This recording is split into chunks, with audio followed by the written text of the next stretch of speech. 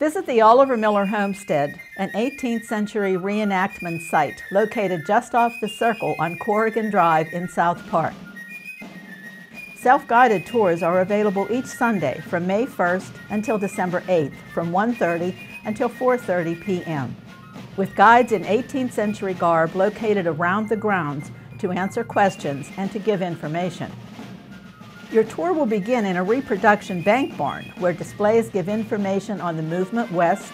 You will also see the Miller still and learn about the production of whiskey and the importance of it and of the Whiskey Rebellion to this area. Follow the Miller Trail up the path and visit the transportation shed, demonstration shed, forge, a reproduction log house, the original spring house, gardens, and finally end at the stone house. Each month, the guides host at least one special event. The homestead is also a great place for tours, tailored to the needs of school-age children, scout groups, or adults. Visit our website at www.olivermillerhomestead.org for a schedule for the year and much more information on the history of the Miller family, our organization, and pricing information.